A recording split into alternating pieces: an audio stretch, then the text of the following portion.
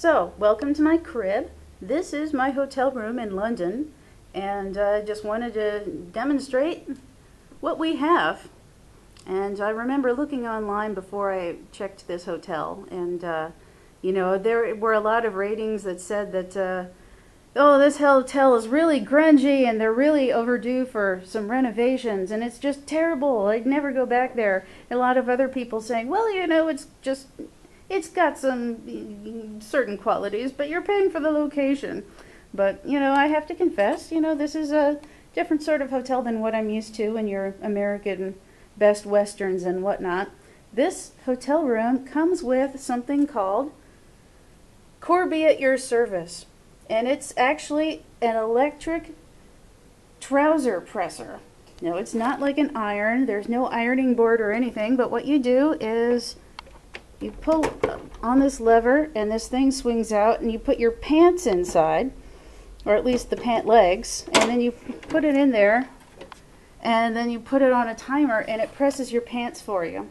Now you can't do shirts and you can't do you know jackets or anything like that but your your pants will look wonderful. Nook.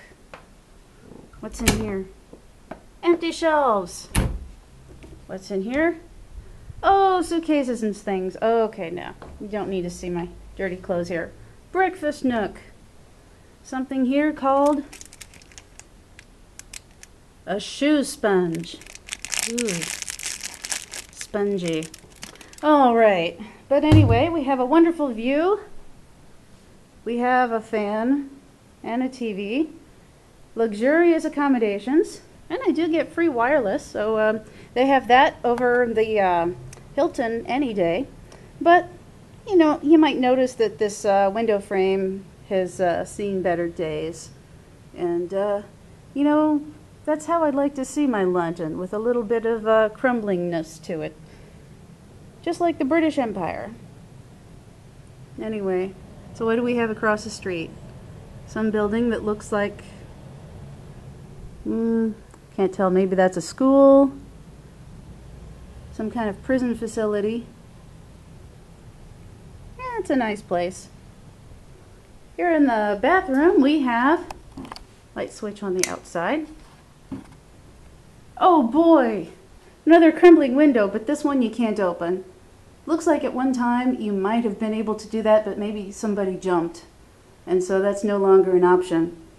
We have a very exuberant toilet, bidet, which I have to confess I've still never quite figured out um, what to do with, you know, I technically I know the theory, but